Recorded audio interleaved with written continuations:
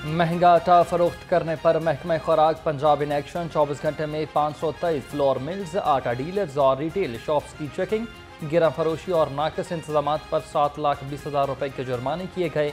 मुताद को warning notice जारी।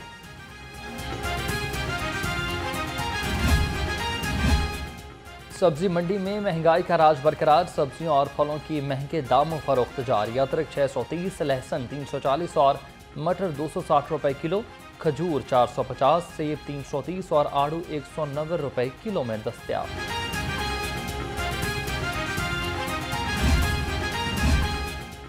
Broiler की खपत के मुकाबले सप्लाई मुतासर, मुर्गी का गोश्त चार रुपए, मजीद महँगा तीन सौ छियानवे रुपए किलो हो गया। अंडों की फ़ी दर्जन दो सौ पचास रुपये से नीचे ना आ सकी। मार्केट में फार्मी अंडों की पेटी सात हज़ार तीन सौ अस्सी रुपये में फरोख्त होने लगी।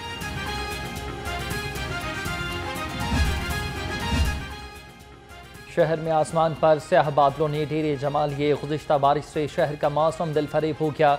कम से कम दर्जा हरारत 30 डिग्री सेंटीग्रेड रिकॉर्ड। हवा में नमी का तनासब सत्तर फ़ीसद है। महकमा मौसमियात की शहर में वक्फे वक्फे से बारिश की पेश गोई छुट्टी का रोज़ और मौसम खुशगवार। लाहौरियों की बड़ी तादाद ने मुख्तलिफ़ नाश्ता पॉइंट्स का रुख कर लिया। पाए नान चने और हलवा पूरी से लुफानंदोज हुए। मौसम बहुत अच्छा है। इतवार के रोज़ दोस्तों के हमरा बाहर से नाश्ते का अलग ही मज़ा है।